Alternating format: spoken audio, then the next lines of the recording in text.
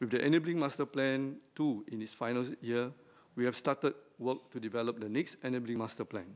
This will guide the development of policies, programs, services, and other supports for persons with disabilities from 2017 onwards.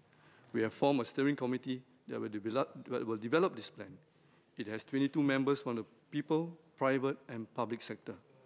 Mr. Seah has asked what the master plan will focus on. Committee will be studying a wide range of areas, including, first, enabling persons with disabilities to reach their potential through further efforts in early intervention, education, employment, lifelong learning, and health. Second, improving service delivery and quality by harnessing data and organizing services. Third, supporting their families and caregivers.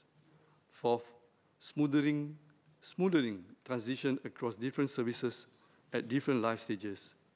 And fifth, fostering an accessible and inclusive community through public education, technology, disabled-friendly spaces, as well as sports and community integration. The committee will examine where and how we can mainstream the support given to persons with disabilities.